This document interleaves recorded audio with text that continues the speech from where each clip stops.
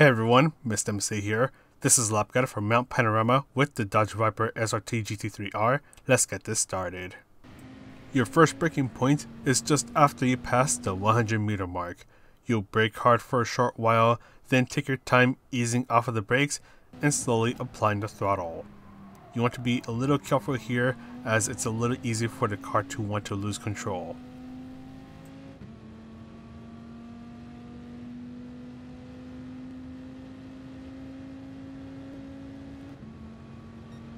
Your next braking point is this path that is on the left, that is just after the 100 meter mark. Brake hard for a short while, ease off of the brakes as you turn in, and bring yourself as close as you can to the curbs on the right. You can let the car cruise for a short moment before you start to fully apply the throttle. Now ease off of the throttle as you make this left turn, and just after that turn ends, you want to start to brake. Make sure you do not bring yourself too far to the right, bring yourself all the way to the inside of the track, Go up to third gear when you hit the apex and start to accelerate. Now use this happy little tree that is on the left as your cue to turn in and you want to ease off the throttle for a short moment so the car can rotate a little bit more. You will need to ease off the throttle for these next two turns.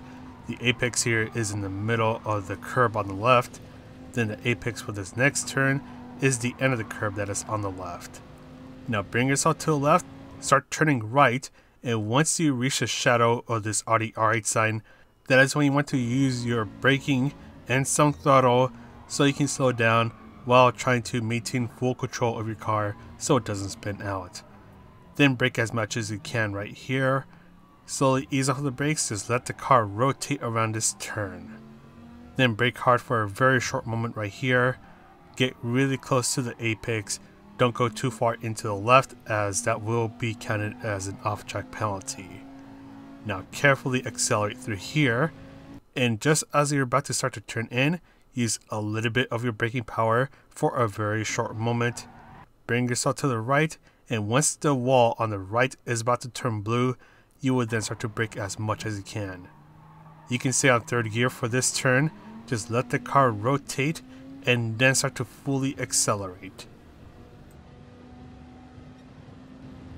Take this right turn at full throttle, bring yourself to the right and use the 150 meter sign on the right as your next braking point. Brake as much as you can for a short while, slowly ease off of the brakes and get as close as you can to the curb on the left.